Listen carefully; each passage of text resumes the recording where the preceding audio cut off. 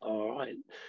Hi, Adam. Thanks very much for joining us today. Um, you've agreed to come on board and tell us a little bit around yourself, your journey of recovery, um, and some little nuggets of wisdom that you can impart to anyone who's listening to this.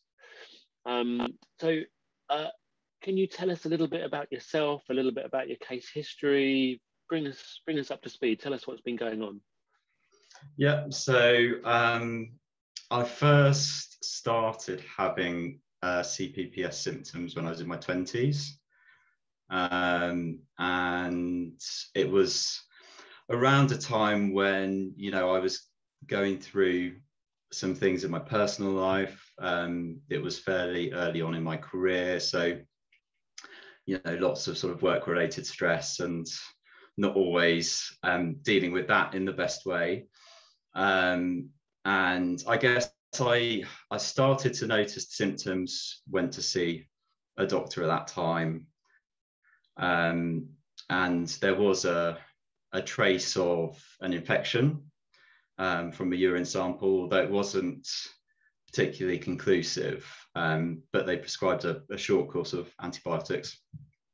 That was all fine. Um, then the symptoms reoccurred, um, you know, and, and, and I sort of lived with them for a period of six months to a year when I was in my 20s. Um, and it came to a point where, you know, they got, they sort of got to, you know, a level where I wanted to do something about it. Um, and um, went to see a urologist, um, you know, regular meetings with my GP. Um, they prescribed another course of antibiotics, slightly longer periods, four weeks this time. And symptoms went away um, and actually didn't really come back for 10, 12 years. Um, so I had quite a long period of not really having any symptoms at all. Um, and I thought, well, you know, it's just a minor thing, didn't really give it much more thought. Um, and then early in 2021, um, I started getting the symptoms again. Um, and then sort of took me back to, to where I was um, when I was in my 20s, um, obviously in my late 30s now. So um, slightly different place in my life. Um, in terms of the symptoms, how how they are for me, I've I've never really got sort of extreme pain. It's tended to be, you know, I would describe it as a dull aching um, in my pelvic area. So um, in the perineum, um, lower back, buttocks, um, you know, my uh, rectum, um, the base of my bladder. Um, and it's just sort of quite unpleasant and just tends to grind you down. Um, so that's that's how it manifested for me.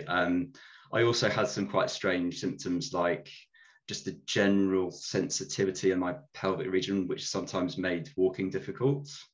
Um, and you know, it was just it was quite strange. Um, but yeah, when when something as simple as walking is is not necessarily that easy, then uh, and particularly for me, who's quite an active person, then that um, that yeah, it's a bit of a problem. So anyway, went through the whole process of you know I'd, I'd had these symptoms before, so and, I, and and I'd had the diagnosis of chronic prostatitis at, when I was in my twenties, so I knew what it was. Um, I went back to see a GP, um, and sort of went down the urologist route. Um, you know, ultrasounds, uh, flexible cystoscopies, um, not particularly pleasant, um, and got to a point where we'd ruled out that you know there wasn't necessarily anything wrong seriously from a medical point of view.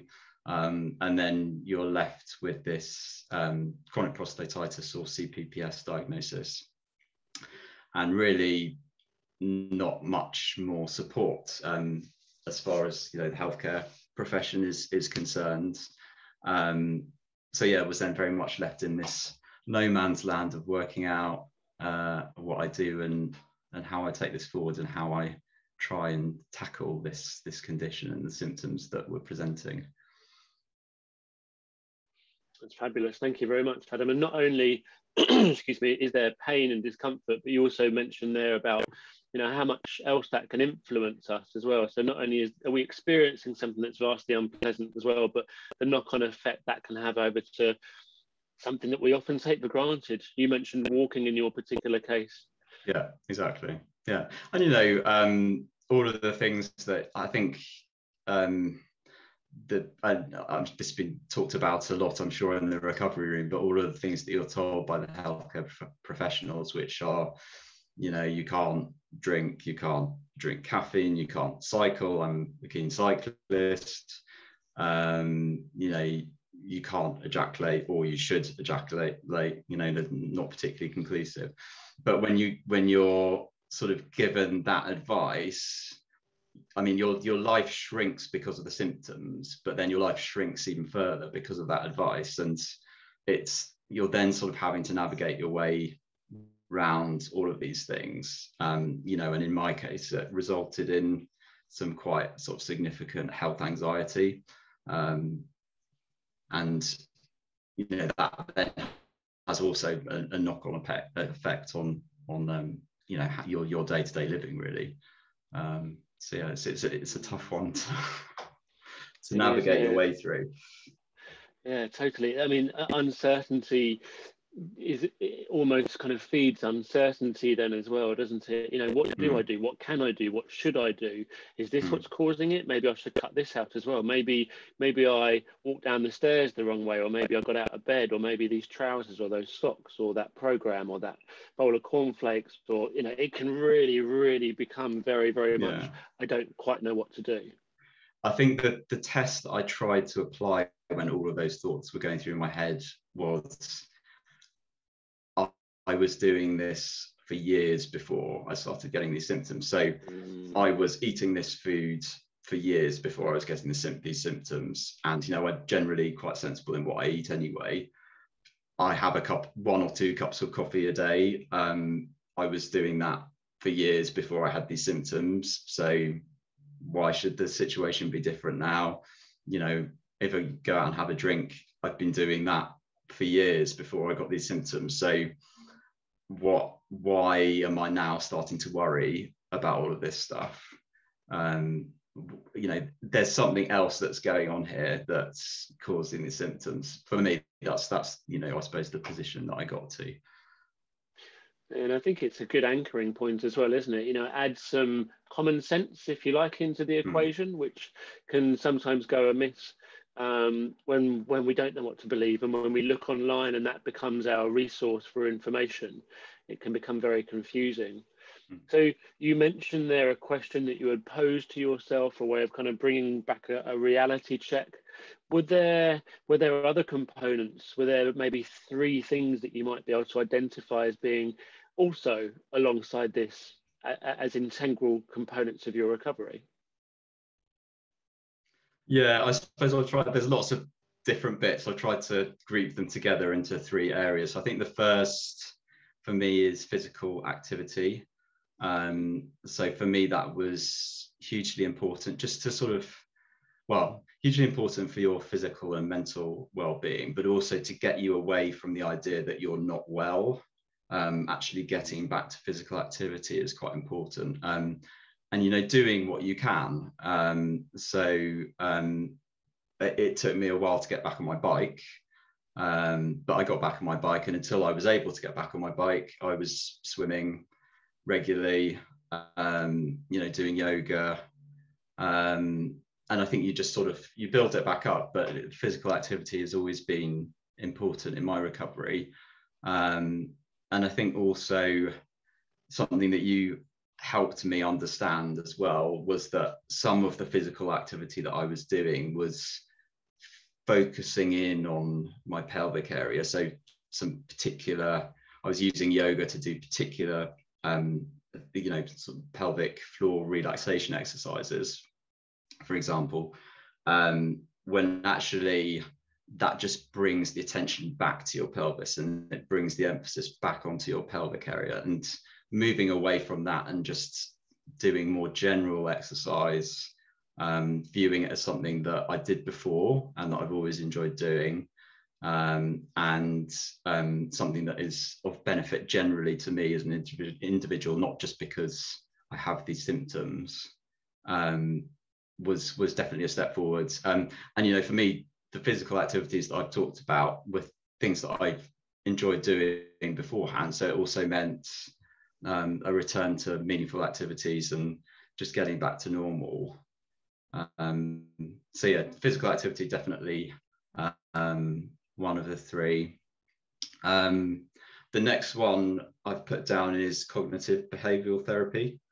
Um, so for me, there's uh, definitely a psychological component to this condition, as I suppose there is with any health condition. But I felt particularly with this condition, um, there's there's definitely a psychological angle. Um, and for me, realizing that my experience of the symptoms um, were really about how I was responding to stressors, how I was responding to physical sensations in my body, um, was quite groundbreaking um, because it meant that I could do something about it. Um, and I viewed this is something that I could manage and control rather than something that was just happening to me. Um, so I think that was quite empowering. Um, but also, as I said before, um, I had developed quite a lot of health anxiety, um, and my thinking had become quite distorted, um, and my sort of life had been impacted by the levels of anxiety that I was experiencing. So I wanted to do something about the anxiety because um, I recognised that that was, you know, an issue that I needed to work through. Um, and the CBT um, it it just gave me a number of tools that I could use that would allow me to really check in with what was going on with me at a particular at a particular time. Um, and I was I was actually amazed at how you can do some quite simple things to improve the way that you think and feel about things. Um, and I think that those are tools that I will use the rest of my life. Um, I've definitely learned a lot um, from doing that therapy. Um, and yeah, would definitely encourage people to to sort of um, to look at that. Um, the the course I did was online, and I got that through my employee assistance program at work. But I think it is available through the NHS as well. Um, it's called Silver Cloud. So yeah, I would definitely recommend that. Um, the third one is it's a bit of a catch-all, um, but I've got uh, mindfulness, breathing techniques, and meditation. Mm-hmm. Um, so, Karl, with your help, um, I identified that I needed to take the focus off uh, the pelvic region um, generally. Um, you know, I wanted to be aware of what was happening in in that area of my body, but not more than any other area. Um, and so you suggested a number of mindfulness exercises, a number of breathing exercises that I could do um, just to rebalance things a bit more. Um, and you know, these were all things that were really, really simple um, and could be integrated into day-to-day life. Um, so, um, and, and again, are probably things that I'll keep up um, you know for the rest of my life really just ways of dealing with stress. Um, you know if i'm experiencing particular things in my body then i'll probably use a lot of these things um, in future. So um, that was that was definitely really important. And um, also getting into meditation. So I've, I've been interested in meditation and I actually wanted to get into it for a while um, I read a couple of books before I got these symptoms um, about it. Um, but yeah, I, I, have got into meditation as a result of having these symptoms. Um, and for me, particularly Vipassana um, meditation, it helps um, because it teaches you to focus in, in, on different physical sensations in your body. But really, I, I suppose, put very, very simply, um, to view them with indifference. Um, so not to become too emotionally invested in any particular physical sensation. Um, and that, A, it taught me to take the focus off symptoms in my pelvis and B, it also helped with my response to any symptoms. So just how I would respond if I had a particular symptom. Um, and, you know, I still have sensations in my pelvis now. Um, they haven't gone away, um, but my response to them is very, very different. Um, and I think that's definitely been a huge contributing factor. And I will, I think I will meditate for the rest of my life just because I find it so, um, you know, it just brings me a lot of peace and it definitely relaxes me. Um, and it, it brings you back into the present, which when you're really stressed out with stuff is is hugely beneficial. So yeah, those are the three. And I think I've touched on this before, but I think a combination of those things really um, has got me to a place where I'm viewing any sort of residual symptoms or physical sensations um, that I experience as being just that periodic sensations, um, not something to um, be emotionally invested in, not something to respond to significantly to. Um, and yeah, that's that's where I am. It's lovely. What a what a great insight into what's been helping for you as well. And thank you for your openness and honesty. Mental health, anxiety, worries, concerns. You know, we are um, born of our mind, and the world that we live in is also part of that as well. So we can't dismiss the mind as as being um, not integral here. But to say that your thoughts or your feelings, your work, you know, your pain is in your head there's, that's a very different statement. But being aware of the the connections, you know, I, I, I my head isn't in a formaldehyde jar. My brain isn't something I can physically, tangibly take out and see. It is integral to me as well. Hmm. And you know, I, I, guess reflecting on what you were saying here, Adam, even when you're being more physically active, that's going to help you mentally. If you are doing an activity and maybe you're getting a sensation in your pelvis, then you can you know extinguish that and manage that through doing some cbt type approaches. And mindfulness almost encompasses much of this as well. Um, even simply being aware sitting here at the moment i can let my shoulders relax a little bit more. I can take a slightly deeper breath.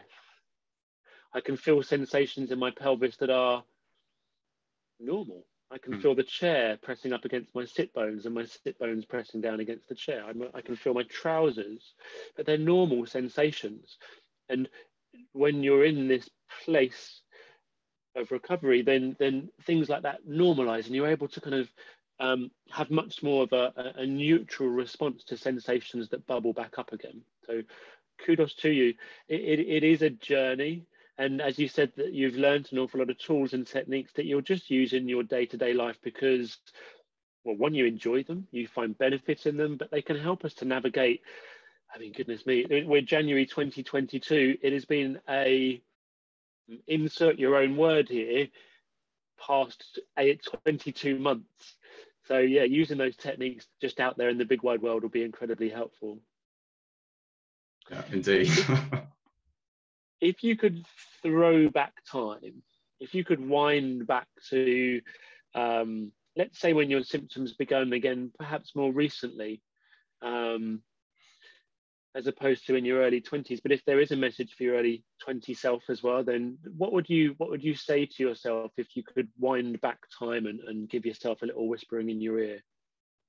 Yeah i think probably two things. One would be uh, prioritize your self-care um, because I don't think I've always done that very well. Um, and I think I, you know, at certain points in my life, I've suffered as a result. So that would definitely be one of them. Um, I think the other one would probably be uh, be mindful um, of the limitations of the biomedical treatment model. Um, and you know i suppose don't don't necessarily believe everything that you get told by doctors and urologists and um, other healthcare professionals and be open to other forms of treatment um, which for me you know have been hugely beneficial. Um, so i think yeah those would probably be the two points Mm, yeah, wise words. And thank you very much, Adam. The biomedical model is there for a reason. It can work very well in certain circumstances and situations.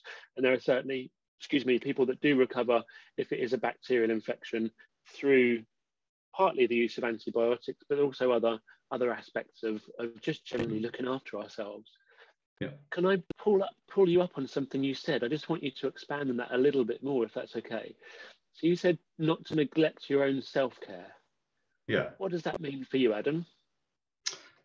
Um, I think it's being aware that you need to have self-care. That's the first thing because sometimes sometimes you're not always aware of that. Um, and you know, I can think of particular times in my life where you know I put work first, for example, when I sh- you know possibly above my own well-being or um, and it's interesting that you know some of the in some of the therapy that I did, they used the analogy of the oxygen mask in an airplane. Um, you know, you can't actually help other people unless you help yourself first. So hmm. um, I think that's something I've not always been very good at doing and recognizing that I need to do.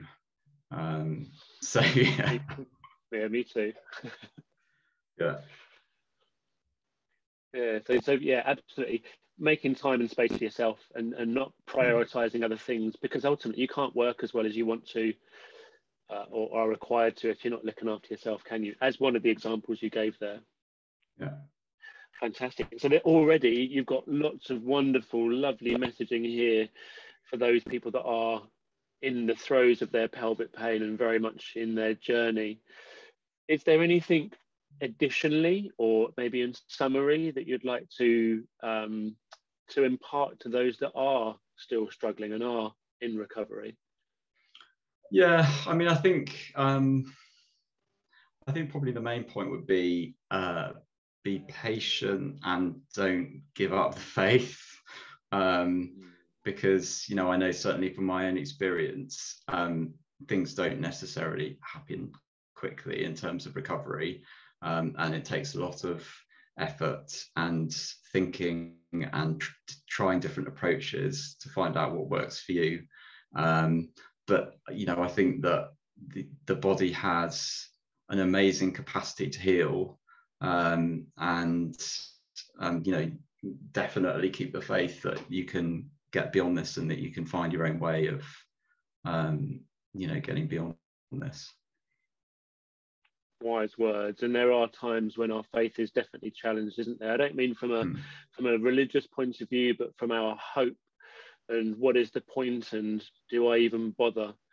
Um, so yeah absolutely. Yeah try and see the bigger picture. Again really really wise words adam. Thank you so much for your insight. Thank you once again for sharing your story and being generous enough to give your time in helping others who are going through this process at the moment.